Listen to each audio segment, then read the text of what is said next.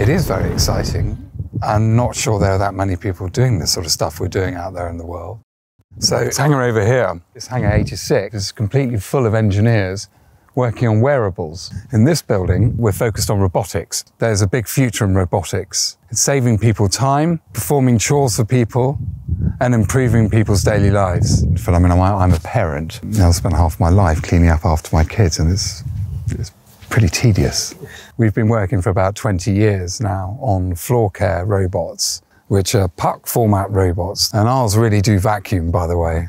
But aside to that, we've also been doing a lot of research into robotics, which no one's aware of. So for the last 10 years, we've been sponsoring the Imperial College. So actually the work that's going on in these PhDs is ripe right now.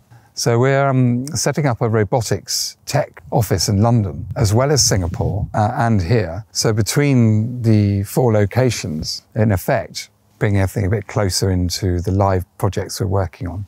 The, the subject, what you're actually developing, accounts an awful lot in terms of excitement and attracting engineers.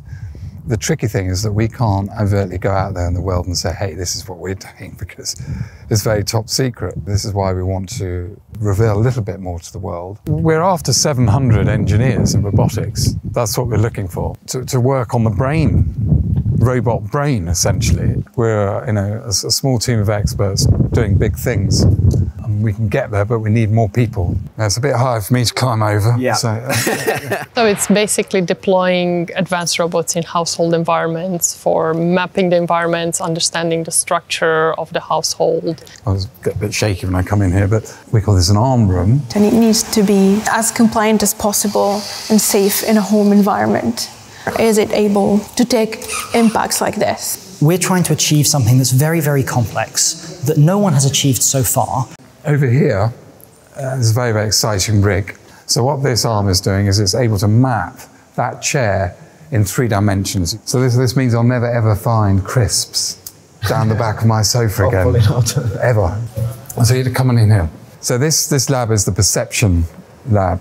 This is all about the brain, about the vision systems, how the robot is interpreting the environment through sensors, cameras, thermal imaging, being able to map humans and navigate through the world. But there's also things we're learning that we can feed back into uh, the other products and the other categories to enhance their functionality and performance for consumers. One of the very exciting things about robots, as with wearables, is they are the future of Dyson.